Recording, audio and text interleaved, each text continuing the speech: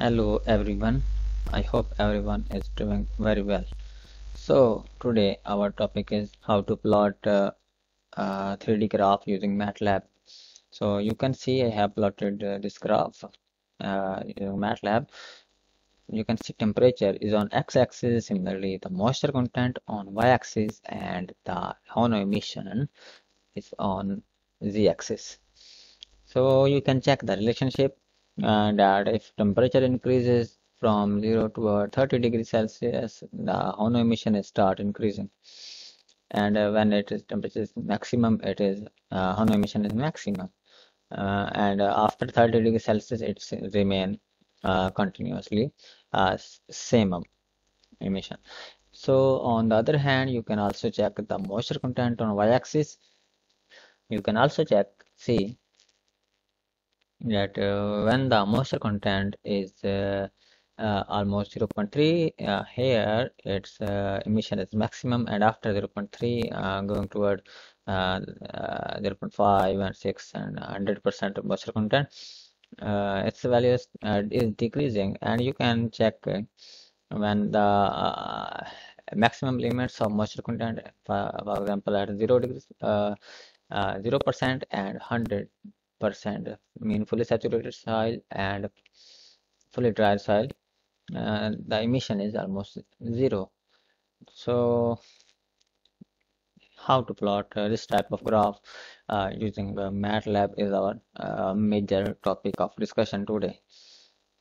So for this purpose I am uh, uh, letting you toward my MATLAB just open your MATLABs clicking on MATLAB and you can go to select any folder where you are uh, required where you want to work. So for 3d graphs we need to prepare a mesh mesh grid uh, first. Before uh, plotting mesh grid i want to discuss uh, what is meant by mesh grid. So actually the mesh grid is uh, x-axis and y-axis. So uh, the uh, start, before starting uh, plotting uh, z-axis we need to prepare a mesh grid using x-axis and uh, y-axis. Okay so our x-axis is temperature. So I will write as T here. T is equal to brackets.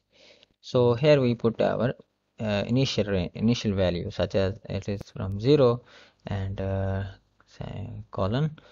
And uh, we will uh, add steps. I mean from 0 to 30 I am going to take one degree step. So I will write it 1 and uh, we will add colon again and upper limit is our upper limit is 30 degrees Celsius. So just enclose it so it is our temperature and similarly for our uh, y-axis it is moisture content. So moisture content is m. So m is equal to you can take here brackets. And our initial range is 0 and uh, up to 1 so from 0 and I am taking as uh, steps. So working step is 0 0.01 to make it more refined so upper limit is uh, 1 so it is 0 to 1 by uh, and the steps is 0 0.01 so all values between 0 to 01 with an accuracy of 0 0.01 will be uh, considered using this uh, uh, code. So again now we are moving toward preparing a mesh grid.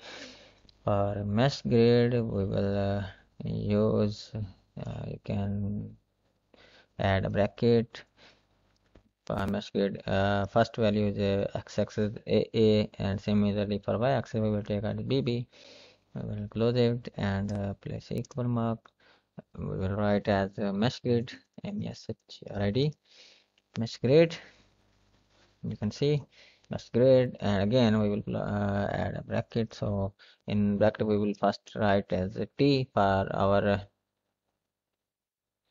uh, x-axis and similarly M for our y-axis so here it is almost done. So you can also see x and y values in mesh so we will add semicolon at the end.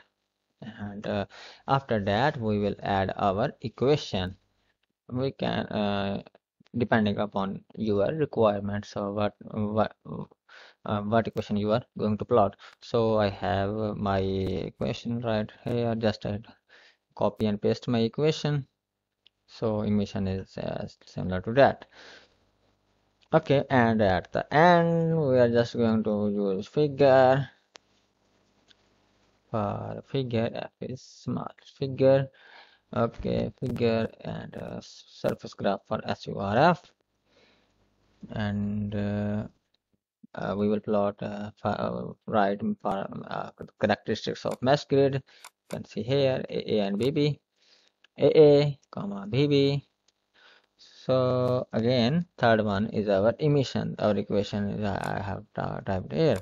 So is emission. Emission okay. I have almost done it. So I will close this again. So going a little bit downward um, we will add shading. Let's see how will it work. We will just plot it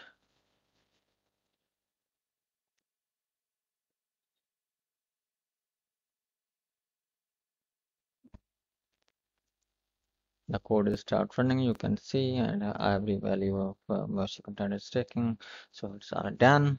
So let's see how does our figure look. So you can see uh, the value is already plotted here. Uh, that look uh, nice. But if we want to remove these lines over here uh, the black black lines so we can again go to our codes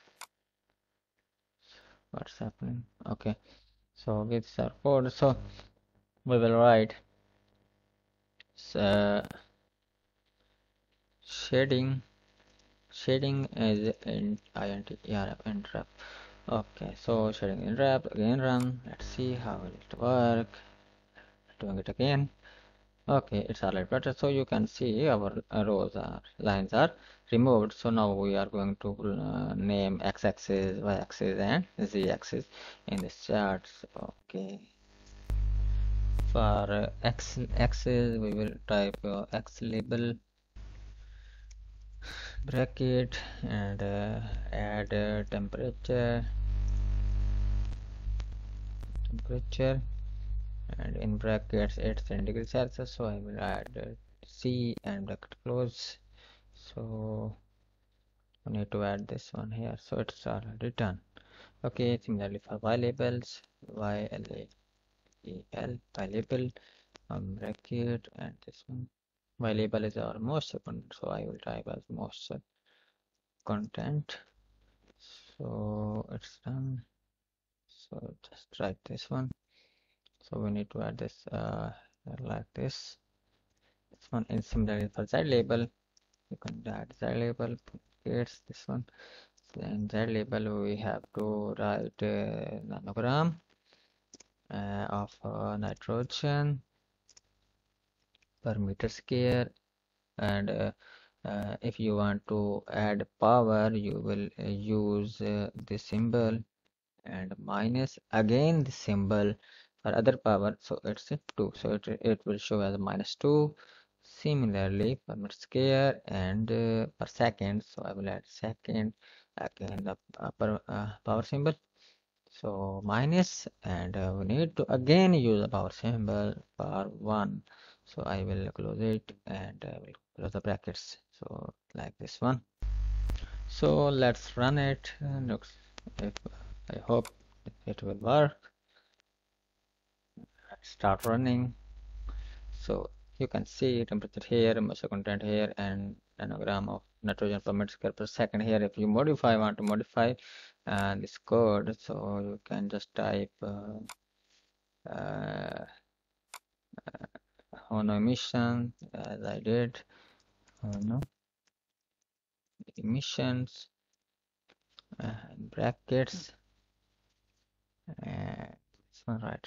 Now it will look different so you can see it's in it's you know it is displayed here and uh, emission is here. So temperature on x-axis, content on y-axis, and emission on z-axis. So thanks for watching my video. I hope it will help you in doing your uh, making your graphs. Please uh, subscribe to my channel for further similar videos. Thanks again.